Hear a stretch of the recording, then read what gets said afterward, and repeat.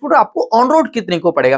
तो हमारे पास एक लिस्ट आ चुकी है, जो कि लिस्ट हम आपको उसमें आपको बताएँगे कि किस सिक्स अप्रैल 2024 को एथर ने अपना मोस्ट अवेटेड इलेक्ट्रिक स्कूटर जो कि एक फैमिली इलेक्ट्रिक स्कूटर है, वो लॉन्च कर दिया। डिज़ाइन वाई तो आप देख सकते हैं, पर लेकिन उन्होंने तीन वेरियंट अपने लॉन्च किए थे। पहला उनका वेस वेरियंट था, वो रिजता एस था, दूसरा रिजता जेड था, और तीसरा आपको रिजता जेड हायर वेरिएंट आपको देखने को मिलता था। और और डिज़ाइन वाई देखें तो उनका, जो उनका 450 एस है, अपेक्स है, वो इलेक्ट्रिक स्कूटर में आपको डिज़ाइन वाई कुछ अलग देखने को मिलता है, पर लेकिन आपको रिजता इलेक्ट्रिक स्कूटर में बिल्कुल ही डिज़ाइन जो है चेंज कर दी गई है।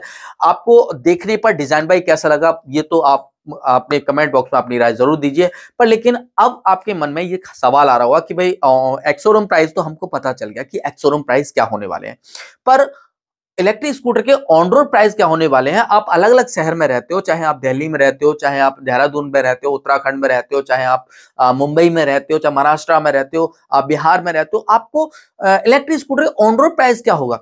आप यदि इलेक्ट्रिक स्कूटर लेने का बना रहे हो, मन बना रहे हो कि यार ईथर का रिजिता इलेक्ट्रिक स्कूटर जो कि लोअर वेरियंट है, एक लाख एक लाख दस हज़ार में आपको देखने को मिल जाता है तो वो इलेक्ट्रिक स्कूटर आपको ऑन रोड कितने को पड़ेगा? तो हमारे पास एक लिस्ट आ चुकी है, जो कि लिस्ट हम आपको उसमें आपको बताएँगे कि किस स्टेट में या किस जगह पर, किस किस प्राइस पॉइंट पर आपको एथर का Rizta electric scooter on road price मिल जाएगा। तो बात कर लेते हैं थोड़ी बहुत इलेक्ट्रिक स्कूटर के बारे में। इलेक्ट्रिक स्कूटर के बारे में बात करें तो आपको डिज़ाइन वाइज तो बिल्कुल ही चेंज कर दिया गया है और इसका जो छप्पन लीटर का इसमें वूट स्पेस देखने को मिल जाता है सेवन इंच की डिस्प्ले देखने को मिल जाती है और टॉप स्पीड की बात बात की जाए तो यहाँ पर अस्सी किलोमीटर प्रति घंटे की रफ्तार से टॉप स्पीड प्रोवाइड की जाती है। तो एथर का जो वेस वेरिएंट है रिजता एस इलेक्ट्रिक स्कूटर उसमें जो बैटरी पैक यूज़ किया गया है, वो आपको 2.9 किलोवाट की एनएमसी केमिस्ट्री पर बेस्ड आपको बैटरी आपको देखने को मिल जाती है, जो कि आईपी सिक्सटी होने वाली है।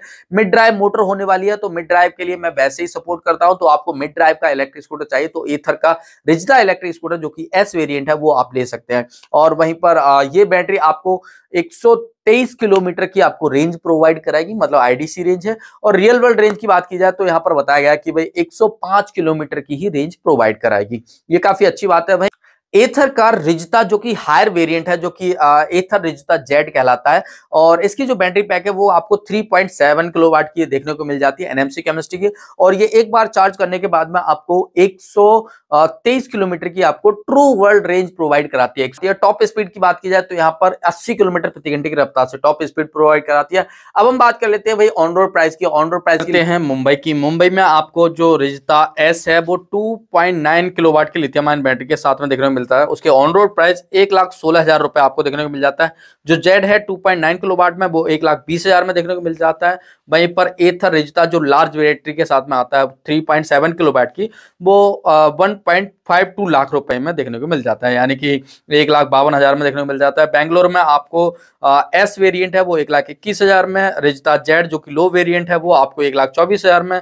वहीं पर जो हायर वेरिएंट है, वो आपको एक लाख अट्ठावन हज़ार में देखने को मिल जाता है। दिल्ली में आपको एक लाख सत्रह हज़ार में देखने को मिल जाता है एस वेरिएंट जेड वेरिएंट आपको लोअर वेरिएंट एक लाख बीस हज़ार में देखने को मिल जाता है। रिजता जेड हायर वेरिएंट आपको एक लाख तिरपन हज़ार रुपए में देखने को मिल जाता है। वहीं पर पुणे की बात करें तो एक लाख सोलह हज़ार में एस वेरिएंट और एक लाख बीस हज़ार आपको जेड जो कि लो वेरिएंट है, और जो जेड हायर वेरिएंट है, वो आपको एक लाख बावन हज़ार रुपए में देखने को मिल जाता है। नवी मुंबई की बात करें तो एक लाख सोलह हज़ार में मिल जाता है एस वेरिएंट और जेड वेरिएंट जो कि लो वेरिएंट है, वो कि आपको एक लाख बीस हज़ार में, और एक लाख बावन हज़ार रुपए में आपको हायर वेरिएंट देखने को मिल जाता है। हैदराबाद की बात करें तो एक लाख उन्नीस हज़ार में देखने को मिल जाता है एस वेरियंट जेड वेरियंट जो कि लो है, वो आपको एक लाख तेईस हज़ार में देखने को मिल जाता है, और जो लार्ज बैटरी पैक के साथ में आता है जेड वेरियंट वो आपको एक लाख छप्पन हज़ार में देखने को मिल जाता है। अहमदाबाद की बात करें तो यहाँ पर एक लाख सोलह हज़ार में देखने को मिल जाता है और जो एस वेरिएंट है और जेड वेरिएंट जो कि एक लाख बीस हज़ार में है और जेड वेरिएंट जो कि लार्ज बैटरी के साथ में एक लाख बावन हज़ार रुपए में देखने को मिल जाता है।